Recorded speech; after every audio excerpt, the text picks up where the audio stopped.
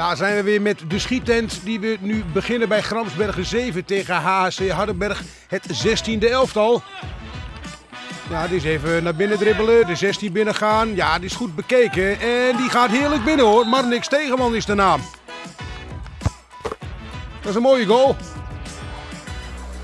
Dan naar de Olde Vesten tegen Balk. Dit is Davy Kuurman die die bal eh, op bijzondere wijze binnenwerkt.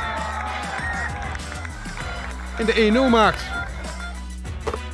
Uiteindelijk wordt het 5-1 trouwens daar.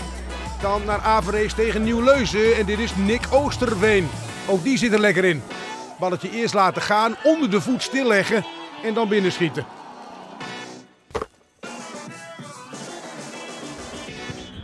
De SJO 17-1 tegen VV Marienberg JO 17-1.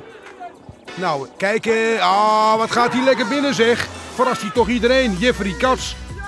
Mooie goal. En wat een blijdschap. Natuurlijk. Weer in Hardenberg. Hardenberg 85 tegen VV Marienberg. Al enige tijd geleden gespeeld deze wedstrijd. Maar toch te mooi om niet te laten zien hoor. Die goal van Rick Broek. Averees tegen Nieuwleuzen dan weer met Roy Bollemaat. Die de goal maakt. Van SV Nieuwleuzen. Dan een penalty bij Gramsbergen 7 tegen HC Hardenberg 16. En dan schiet je hem zo over.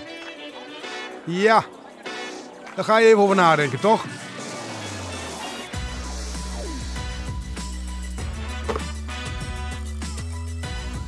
Dan naar het duel tussen Avereest en Nieuwleuzen weer. Ook die gaat lekker binnen. Stijn Hoekstra is de naam. En zo is Nieuwleuzen kampioen in de derde klasse D Noord. In de blijdschap natuurlijk daar. Excelsior 5 tegen Deto 4. Op het veldje achteraf. Nauwelijks te zien, maar hij zit er wel in.